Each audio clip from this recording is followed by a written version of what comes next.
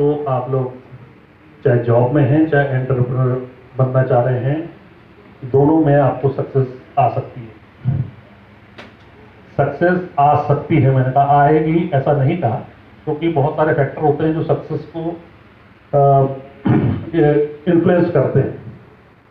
तो स्वार्थी शब्द बुरा नहीं है, स्व का अर्थ निकालना है, और स्व का अर्थ निकालने के लिए आपको अपनी एनालिसिस करनी बहुत ज़रूरी है।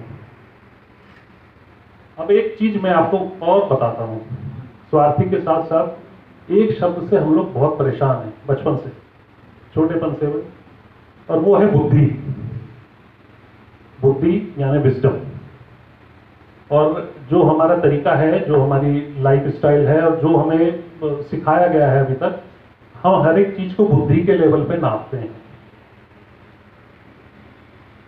लेकिन आप लोग ये जान लें कि बुद्धि जो है, इसकी बहुत सीमित क्षमताएँ होती हैं, बहुत सीमित, बहुत लिमिटेड है।